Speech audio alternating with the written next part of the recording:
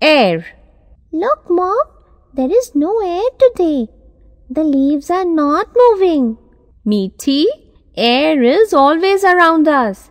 We feel it only when it moves. Yesterday, the leaves were moving because it was windy. Moving air is called wind. When it blows gently, it is called breeze. When wind blows very fast with thunder and lightning, it is called a storm. Mom, does air have speed also? Yes, dear, air has speed. In fact, strong wind has a very high speed. It can change the direction of things like kites, balloons, and smoke that come in its way. Your brother is able to fly a kite due to this strong wind. Mom, see the leaves of the trees are moving in one direction. That's because air always blow in a direction. The direction of air can be seen by things like the movement of branches of trees, movement of kites and smoke from the chimneys. If you stand in a windy place, the direction in which your clothes fly will show you the direction of the wind. A wind vane also tells us the direction of the wind. Meaty, get inside the house immediately. There is a possibility of a storm. Mom, does storm cause harm to us? Yes, Meaty.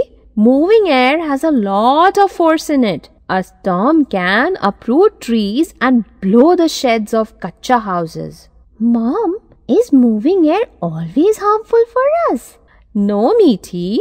Moving air or wind helps us in many ways. Wind moves the blades of a windmill. It helps to produce electricity and draw out water from wells. Wind also helps a hot air balloon to rise and fly. It also helps boat to sail on water. It carries the seeds of trees to far off places.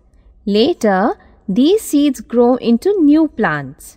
Wind also helps clothes to drive faster and the aeroplanes and other things to fly. Mom, look at the smoke coming out of the car. This is very bad. This smoke has harmful gases which will make the air dirty. The air also becomes dirty because of dust. We need to breathe clean and fresh air to stay healthy. Mom, what will happen if we breathe this impure air? Meaty, we can fall sick.